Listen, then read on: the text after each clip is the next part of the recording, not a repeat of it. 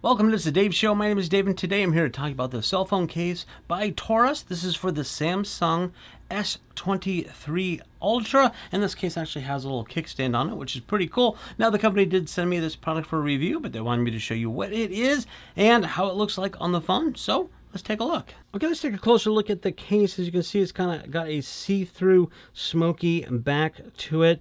Um, it does have all the little little button compartments and holes for your uh, ports and all that stuff.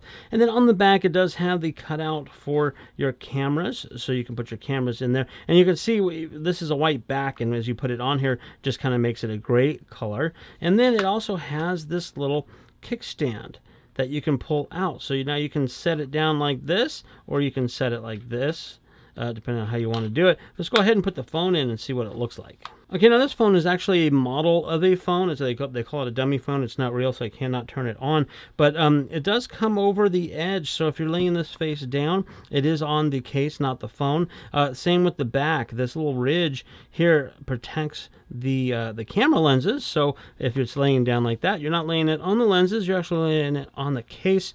And then, of course, you've got the little kickstand here that you can take it and put it. So like you're going to watch a movie or something with it you can do it that way or you can even do it that way. Uh, pretty nice. It's nice and slim as well. Uh, very nice little case. Good to protect your investment in your phone. So if you're looking for a nice case for your samsung s23 ultra this one may be the right one for you